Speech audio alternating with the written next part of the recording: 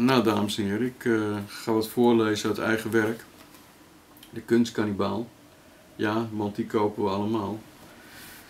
Dus eh, is nu te koop in de winkel.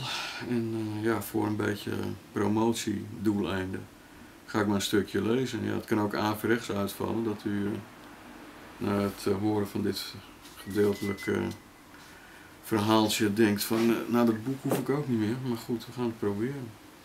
De Russische veldtocht, operatie Nachtegaal. Rostov-on-Don, Rusland 1996. Langzaam steeg de zware Tupolev hoger en hoger. Ik zat op een plastic tuinstoeltje dat ons in het Russische vliegtuig als zitplaats diende. Er waren ook staanplaatsen en naast mij zat de bekende kunstschilder Ernst Vos. Ik zag hem langzaam groen wegtrekken toen hij links en rechts vliegtuigwrakken langs de startbaan zag liggen. Het waren ongewilde memento mori monumenten. We hadden de piloten tijdens het urenlange wachten op kerosine hun tijd zien doden met het achteroverslaan van flessen wodka. De sterke drank werd weggespoeld met halve liters bier en even zoveel flessen champagne. Toen we eindelijk aan boord mochten, nam iedereen een run naar de vliegtuigtrappen. We hadden ouderwetse rode kartonnen tramkaartjes als tickets uitgereikt gekregen. Maar dat mocht niet baten. Je moest rennen voor je leven om een zitplaats en je elleboog gebruiken om het toestel binnen te komen. Overal scharrelden verwilderde honden die zowel in de wachtruimte als op de start- en landingsbanen liepen.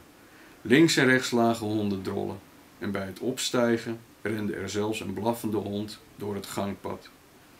Ze waren als de Cerbrussen die de toegang tot de onderwereld bewaakten. Geen opwekkende gedachte voor de potentiële passagiers die gevangen zaten in een vliegtuig waar de verf van afbladderde en die volgestouwd was met wrakkige tuinstoelen als zitplaatsen. Onderweg werd als tijdverdrijf gegokt. Je kon bij een van de talloze stewardesjes krasloten kopen. Er volgde dan een onduidelijke schreeuwpartij waarna er een winnaar werd aangewezen. Die dan reeds dronken van de ochtendwodka een prijsje in ontvangst nam. Meestal weer een fles wodka of een vers kraslot. Ter verhoging van de vreesvreugde kregen we een zagrijnige stewardesse. Ter, wacht ter verhoging van de feestvreugde kregen we van de chagrijnige stewardesse als versnapering een snee hard, oud bakken brood met een plastic bekertje rioolwater. Ik begrijp inmiddels wel waarom de Russen altijd dronken waren. Uit de antieke kranen van ons intoeristhotel kwam soms een bruine drap, maar meestal helemaal niks, behalve wat onheilspellende, borrelende geluiden. De noodzakelijke flessen bronwater hadden echt een grachtwatergeur en dito smaak. Dus bleef er niets anders over dan zelfs je tanden met pivo met bier te poetsen. Ochtends bij het ontbijt, dat bestond uit wat ongebakken witte deegslierten en caviar, dronken we dan ook stevast limonadeglazen wodka, verdund met iets wat sinaasappelsap moest voorstellen. Het was mierzoet en niet te zuipen. Caviar daarentegen was in enorme hoeveelheden. Het kwam op laatst echt je neus uit.